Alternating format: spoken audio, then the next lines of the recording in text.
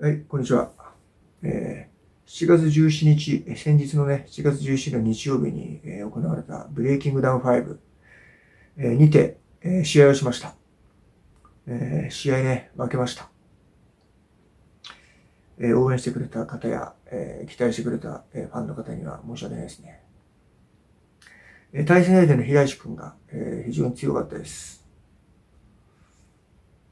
まあ、舐めてたわけじゃないんだけど、ただやっぱり、もうちょっとね、華奢だなと思ってたのに、向かい合ったらやっぱ体格もがっしりしてて、えー、勢いだとかね、えー、アグレッシブさだとか、そういうのもすごくて、えー、あと気迫とね、そういう、あのー、気迫とかね、パワーも、まあ、すごかったですよ。ただ、えー、公言通り、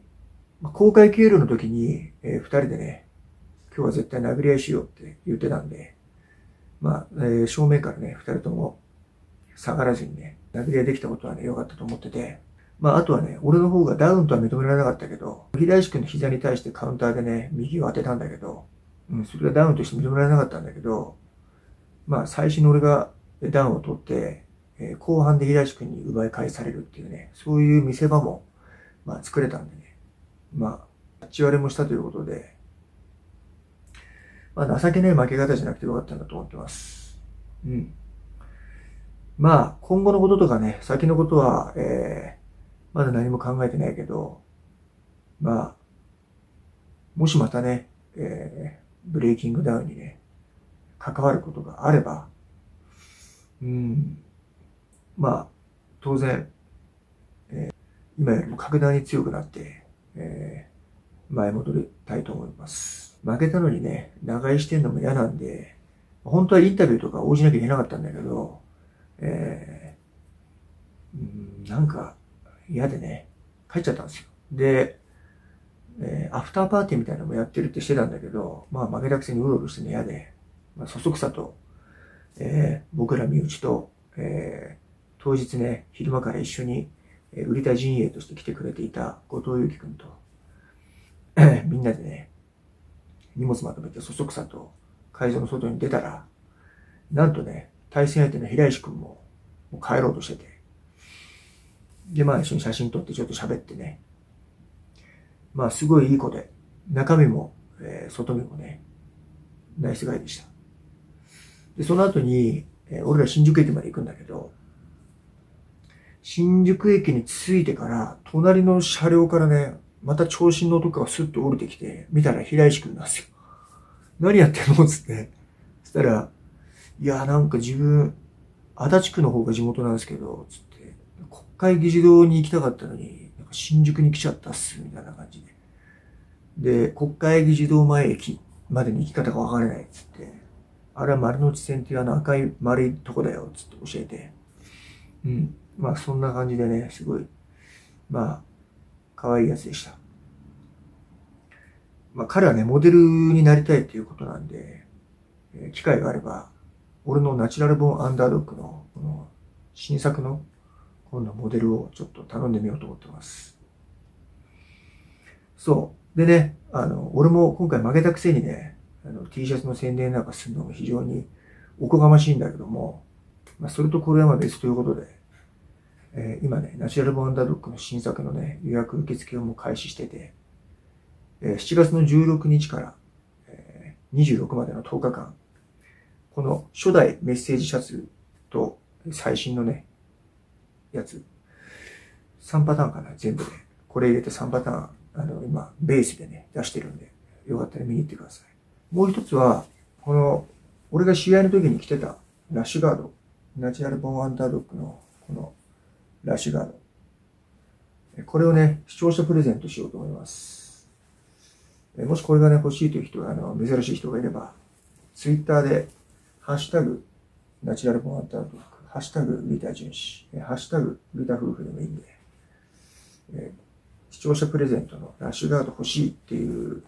意気込みをツイッターにね、あげてください。それを、えー、こうやって見ながら、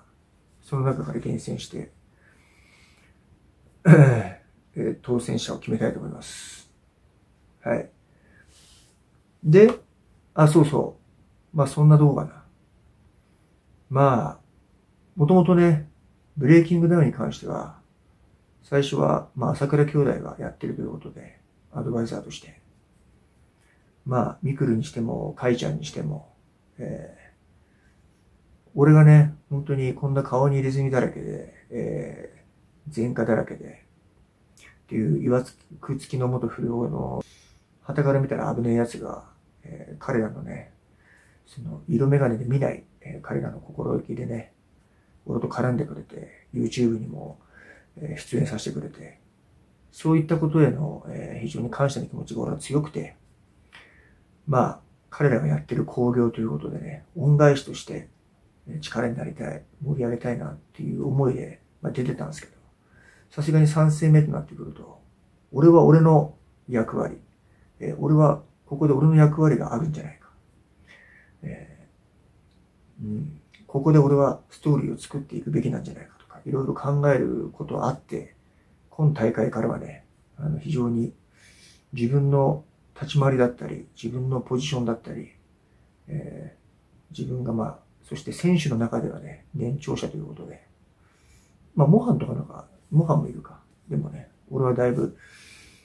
もう若者じゃないんで、そういう意味でも、俺にしかできない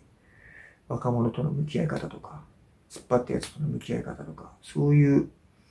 まあ、オーディション、会見、全部ひっくるめてね、あの、うん、どうやって盛り上げるべきかとかね、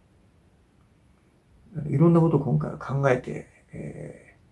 ー、挑みました。まあ、結果としてね、少しでも、えー、微力ながら、少しでも力になれたのであれば、えー、俺は良かったと思っています。あ、そうそう。あと、ひろゆきさんが、あの、俺のことをね、微妙なおじさんとかって言ってる件で、えー、まあ、俺のアンサーとしてはね、